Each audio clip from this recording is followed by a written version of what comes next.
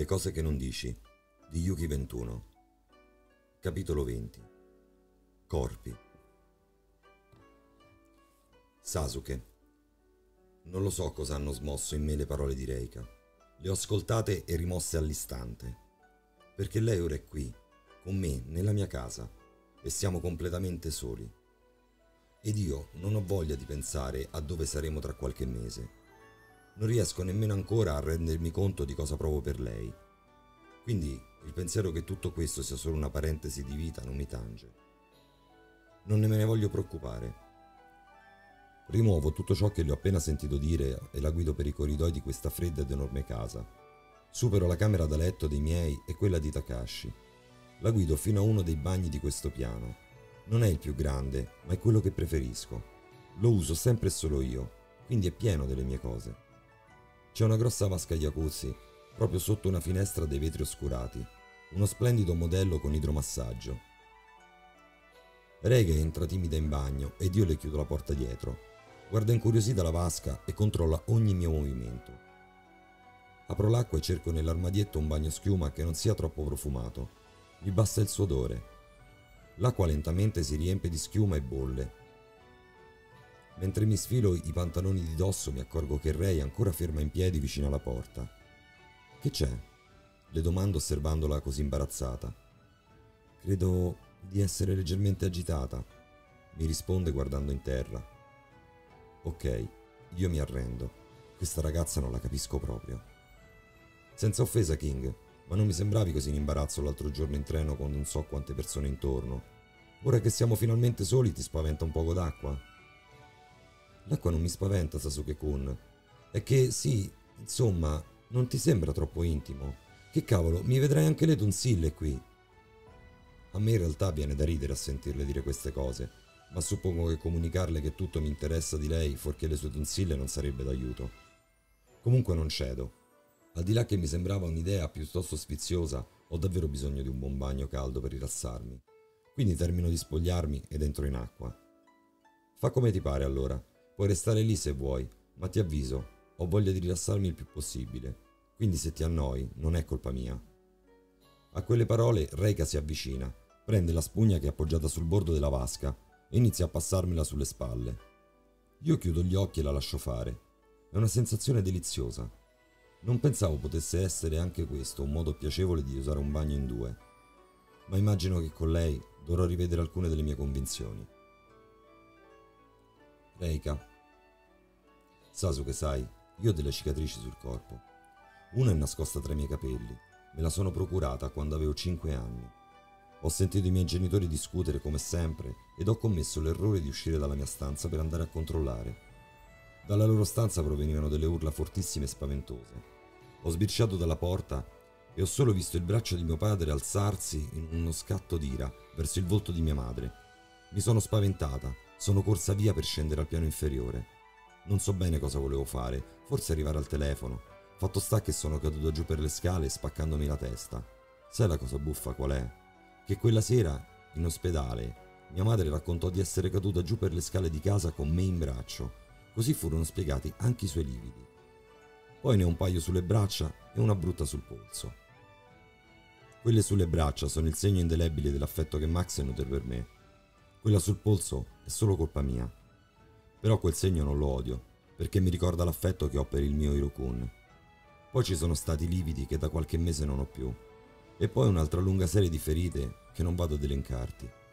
Se tu riuscissi a vedere anche solo uno di questi segni, io ne morirei di vergogna. Per questo non posso entrare in acqua con te, anche se lo vorrei. Per questo mi piace stringerti nella penombra. Penso a tutte queste cose mentre strofino dolcemente la pelle di Sasuke.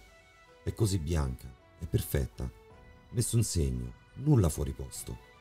Sasuke, perché non andiamo in camera tua a fare l'amore? Glielo sussurro in un orecchio abbracciandolo forte. I miei capelli si inumidiscono per colpa dei suoi che sono totalmente bagnati.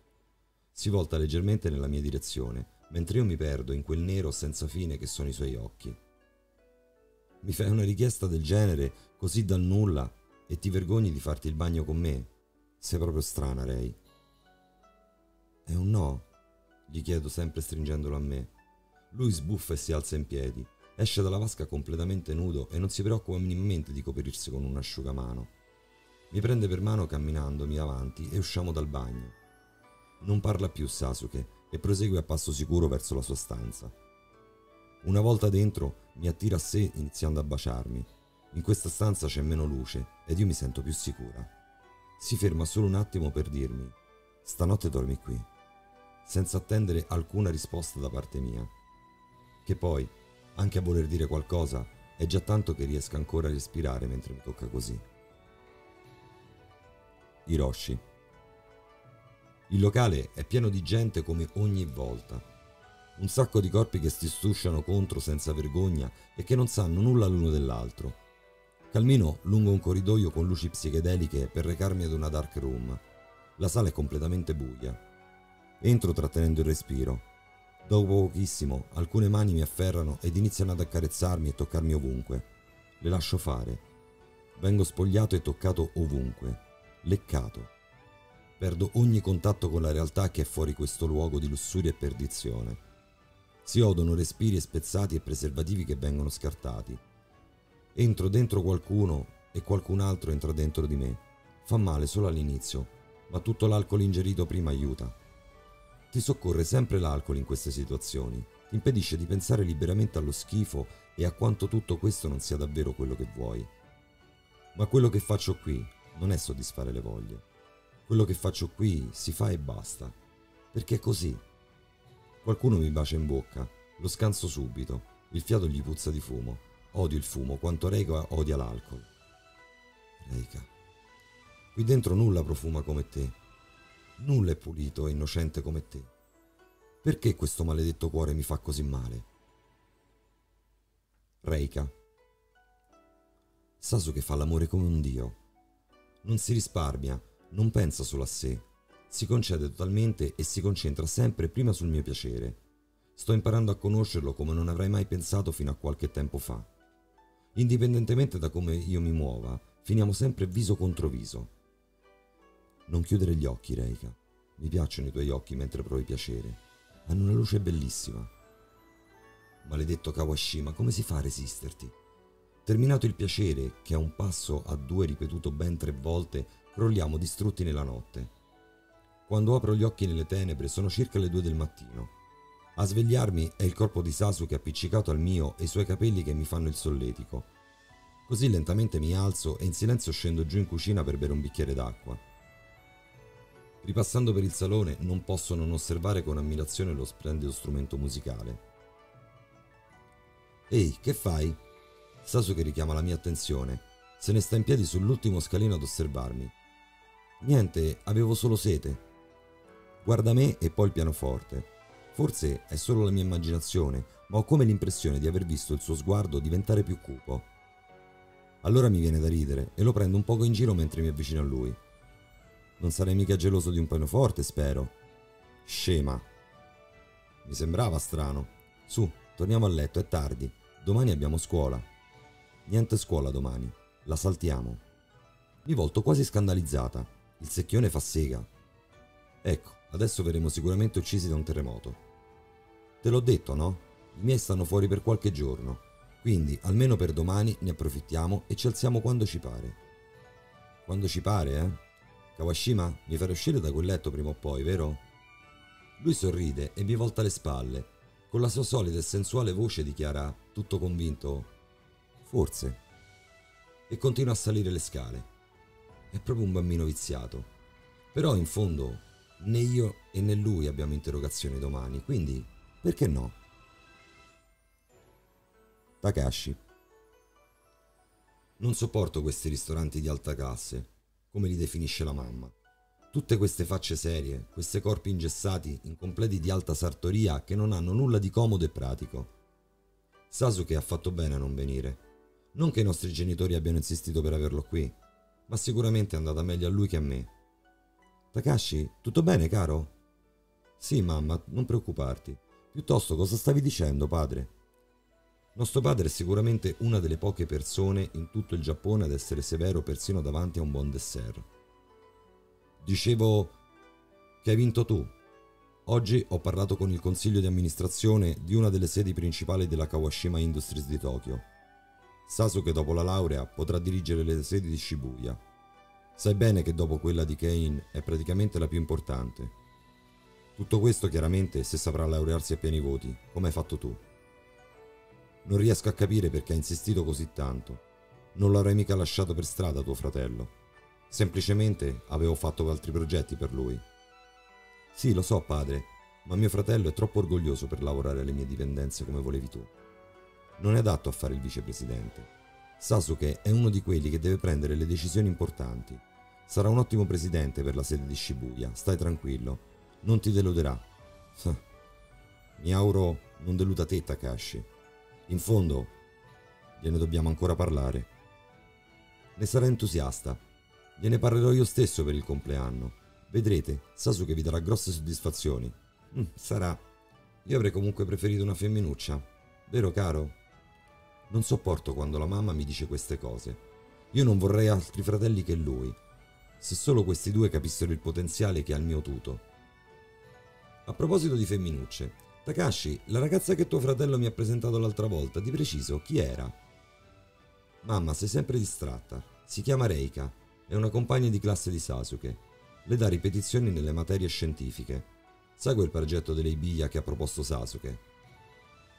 Mio padre alza la testa curioso. E chi sarebbe questa Reika? Ha un cognome? Mi sembra King o qualcosa del genere, non ricordo. Perché ti interessa, padre? Non conosco nessun King. Cos'è? Una straniera? Di che si occupa suo padre?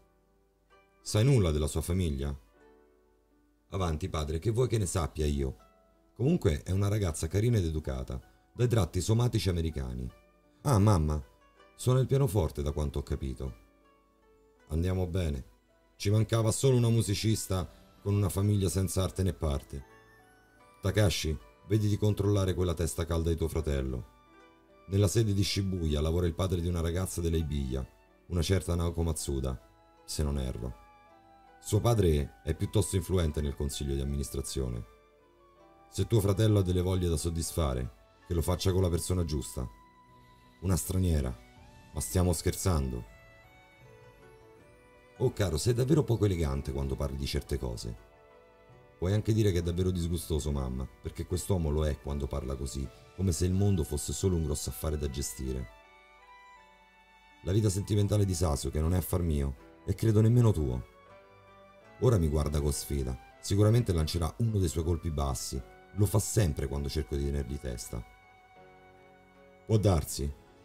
Ma vista la fatica che hai fatto per convincermi che Sasuke mi darà meno noie di quante me ne hai date tu in passato, Takashi, credo faresti bene a verificare anche questi suoi atteggiamenti.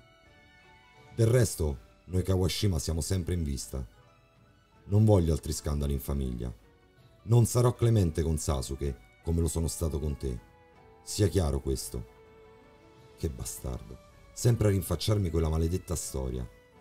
Torniamo tutti e tre a concentrarci su questo non identificato dolce, ma l'appetito mi è passato.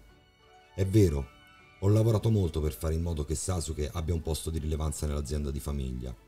L'ho fatto principalmente per fargli capire quanto ci tenga a lui e per cercare quindi di risanare il nostro rapporto logoro di gelosie e ingiustizie. Spero di non dover mettere bocca in nulla che riguardi Reika. La ragazza non ha colpe. Nessuno ha colpa se io e mio fratello siamo nati con questo dannato cognome. Comunque, conoscendo Sasuke non sarà una storia che andrà avanti ancora per molto. Lui si stufa presto di tutto. E se così non fosse, me ne porrò il problema a tempo debito. Magari, anche se non dovrei, farò giusto qualche ricerca sulle generalità di Reika King Forse salta fuori che ha una famiglia ricca sfondata alle spalle. Così questo razzista che ho davanti non avrà più nulla da dire sulle scelte di mio fratello.